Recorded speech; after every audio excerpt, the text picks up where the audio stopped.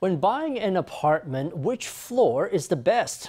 This is a question that often vexes prospective homeowners. Some discussions online have pointed out that the second floor is easy to evacuate from and convenient to access. But what is it actually like to live on the second story? We asked some people for their opinions. When you live in an apartment building without an elevator, how many flights of stairs you'll have to climb to get home is an important question. A recent post on PTT said the second floor is easy to evacuate in the event of a fire or flood. It also doesn't have as many cockroaches and rats as the first floor. But what's it really like to live on the second story? When coming home and carrying lots of heavy bags, you just need to climb one flight of stairs. It's also convenient when going down to the store to throw out the trash. It seems like there are a lot of advantages to living on the second story, but would you choose to buy a unit there?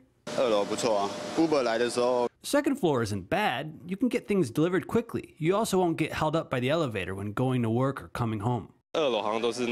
The second floor is where some of the pipelines turn, so it might be noisy and annoying when they need to be repaired. When buying, the higher the better, but it also gets more expensive the higher you go. When I was younger, I didn't buy on the second floor, but I want to buy one now that I'm older. Different age groups have different opinions. Online, people who live on the second floor said they were afraid of the toilet backing up or flooding. Others say that water from the balcony drain has flooded into their apartment during typhoons. As some pipelines are located there, others reported leaks in the ceiling. And without airtight windows, the noise from cars and pedestrians is enough to drive you crazy. If there's a power outage and you live on a higher floor, you have to take the stairs. That's the main reason the lower floors are becoming favored these days. The second floor is a plus. Higher floors are liked by younger people, while older people like the lower stories. In terms of pricing, the higher floors are still more expensive than the lower ones.